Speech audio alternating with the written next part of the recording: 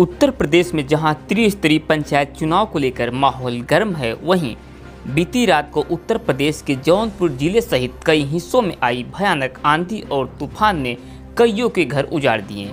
कहीं किसी का पेड़ गिरा तो कहीं किसी की छत की टीन सेठ ही उड़ गई।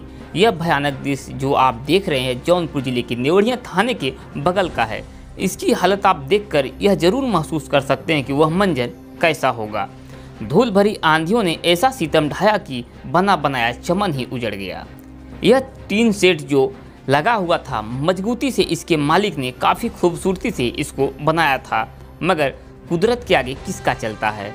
ऐसा सितम आंधी ने बीती रात को ढाया कि टीन समेत छत से जमी दोष हो गया। राहत की बात यह रही कि इसमें किसी के हताहत होने की कोई खबर नहीं मिली है। वहीं आप जो दूसरी तस्वीर देख रहे हैं नेवढ़िया तरती मार्ग के समीप दोदापुर मोड़ की बताई जा रही है।